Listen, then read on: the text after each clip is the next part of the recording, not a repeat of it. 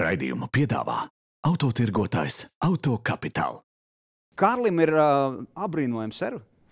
Eh, Jā, un Ta, tas, tas jau tas ir dabas dots, tas at, attiecīgi. eh, tas ir dabas dots, kas ir labi attīstīts. Jā. Teiksim, runājot par kārļu servi eh, un vispār to viņa teiksim, jaudu, tas arī būtu, ja man uzdot jautājumu. Vai tur var saskatīt? Protams, tagad tas, ko ir izdarījis, ir labi, bet tas ir junior vēl. Tur spēlē puikām. Tomēr Jā, vēl. Jā. pats ir puika un spēlē ar puikām.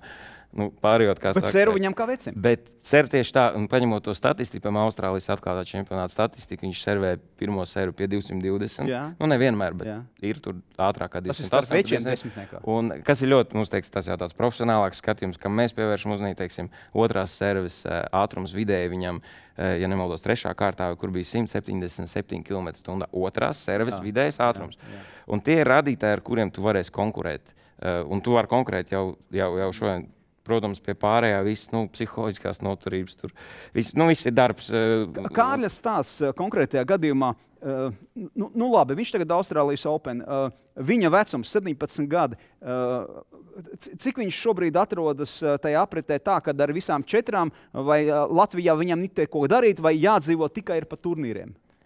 Viņš ir ar visām četrām, ne tikai četrām, bet es noteikti gribu pieminēt viņa vecāku, vēl abas Jā. rokas un kājas, ja, jo bez tā nekā, teiksim, šī gadījumā es ļoti labi zinu. Mēs esam gājuši kopā to ceļu, arī mēs kā treneri. Kārlis ir visām četrām iekšā. Vai viņam te ir ko darīt? Jā, jo tāpēc, kad šeit esam teiksim, es un mēs treneri, kas Jā. vienmēr viņu pieskatīsim un vienmēr palīdzēsim, un tajā ceļa gājumā esam vienmēr blakām. Eh, Protams, viņam iekšēji konkurence, viņa vecuma tāda līmeņa, protams, nav Latvijā. un Trenēties Līdz ar to viņam, tas eh, ir- tas ir, nu, eh, faktiski viņam ir, protams, ka jā, viņam Problēma tāpēc, atrast sparingu, ja, eh, šeit. Jā, bet jā. tas ir normāli. Viņam jau problēma ir atrast gandrīz jebkuru spārīgu. Nu tas jā. jau nav tā, ka tikai Latvijā. Nu, ko es tev provocēšu? Ozoliņš būs top 10.